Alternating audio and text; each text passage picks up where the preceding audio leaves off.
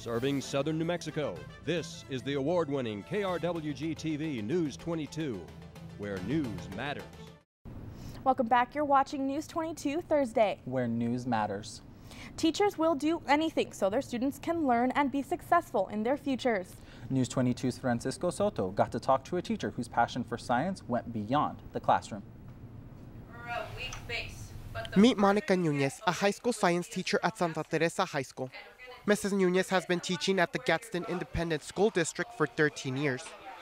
In the winter of 2017, instead of being surrounded with students, she was surrounded by penguins. Monica Nunez spent two weeks in Antarctica as part of the National Geographic Teacher Fellowship Program. The opportunity came for me to apply for a fellowship with them. It's just one of those opportunities that you think you you apply. Thousands of teachers apply in North America, and you think you're never gonna get.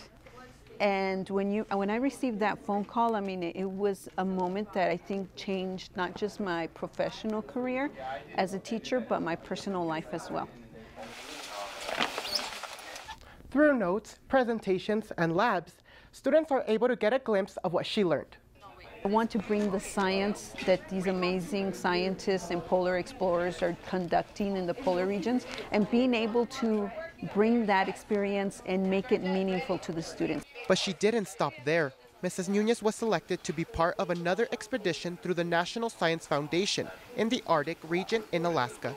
Um, when I come back, I want to be able to show my students all of the amazing film and for example like when the scientists are out in the field being able to capture those moments and show them to the students on film. Through her experiences, she wants to make an impact in the student's life, and she really is. She's following her dreams, and I should follow my dreams as well.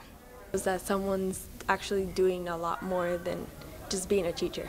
As Nunez gets ready for her second expedition this summer, she will continue to do her best to help her students get through the remaining of the school year.